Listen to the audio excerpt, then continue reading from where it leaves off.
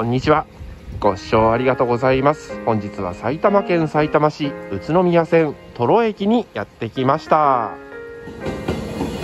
本日は雨ということでホームから失礼してるわけですが、こちら651系千番台です。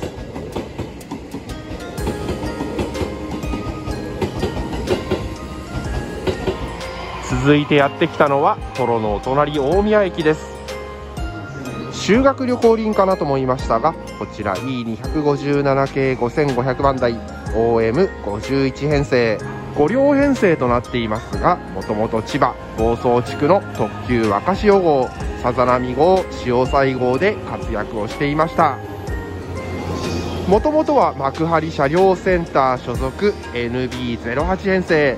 2021年に改造を受けましてこちら5500番台。大宮に転属しています。回送列車ということでこの後東大宮センターに返却されるんではないでしょうか。続いてやってきたのは4番線ホーム。右を見ますと先ほどトロ駅で見ました651系。区波651の1004ということで OM204 編成。まあ、改装ということなんですがこちらは5号車でしょうか。塗装を見ますとだいぶ剥がれ落ちています。そして上の部分ですが錆がすごく出ています。こちらも塗装が落ちています。こちら4号車のグリーン車となりますが塗装が落ちた部分修復されています。ということで信号が変わりまして間もなくの出発のようです。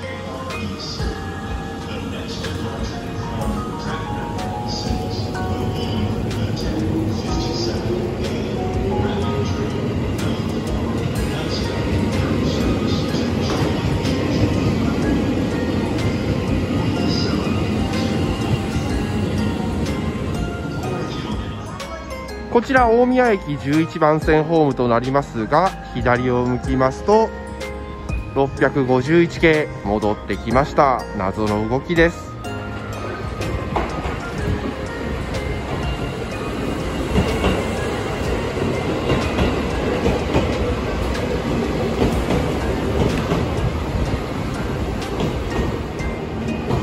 まあ、先ほどの塗装の剥がれがありましたのでこちら OM204 編成と確認することができます。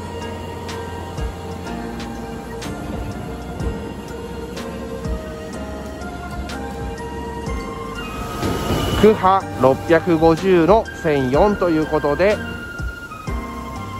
OM204 編成このまま大宮工場に入場するのかそれともどこに行くのか探ってみたいと思います。それでは本日もよろしくお願いします。続いてやってきたのは川越線に入りまして指扇駅。普段走行することがない川越線に651系 OM204 編成。この後果たしてやってくるのでしょうか。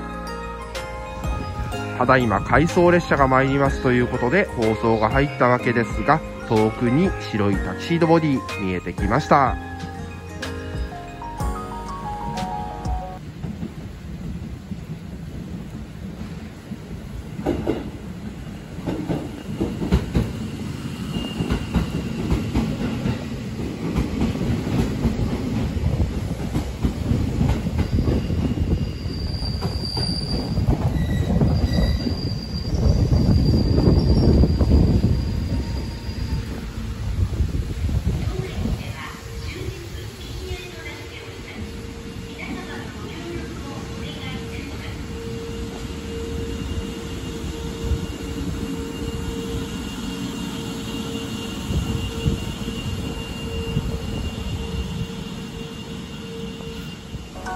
ということでこちら指扇駅に停車をしました。それでは車両の方見ていきたいと思います。先ほど大宮駅で見ることができました OM204 編成。こちら1号車となりますが区波650の1004まあ、当然横の表示幕は改装ということなんですがこの後向かうのは川越車両センター。ちょっと見えないと思いますがこの下には車輪があります。車輪添削車輪のメンテナンスということでこの後川越車両センターで検査を受けます。東大宮センター所属のこちら651系大宮総合車両センターで車輪検索できないのかなということなんですがこの辺りでは川越車両センターでしか行われていません。ということでこの後自走にて川越車両センターに向かうこととなっています。白いタキシードボディのすごいやつということなんですが車両を見ますと一部塗装が落ちています。こちらまだ落ちていませんがだいぶ盛り上がっています。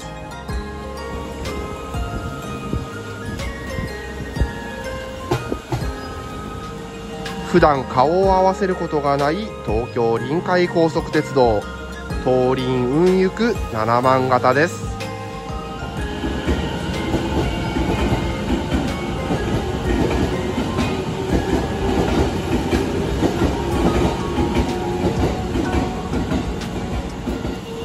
ということで川越車両センターに向けて出発です。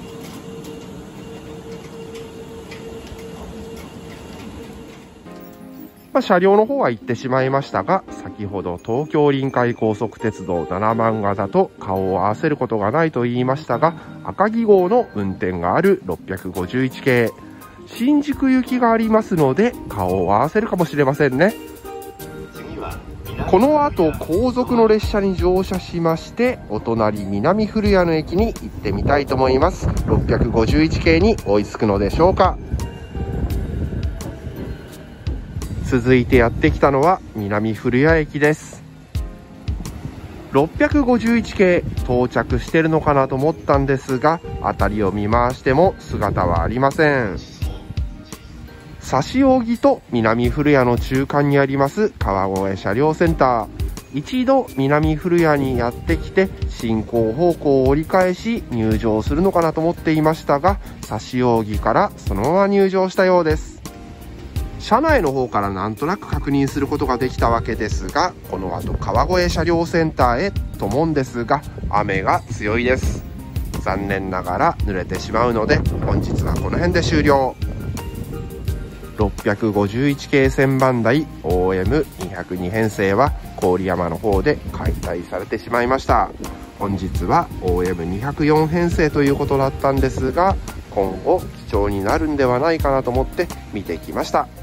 この先もいろんな列車いろんな車両そして乗車もしていきたいなと思っていますのでチャンネル登録よろしくお願いします。ということで雨の強い南古谷駅からはこの辺で失礼したいと思います。最後までご視聴ありがとうございました。とても風が強いです。それではまた。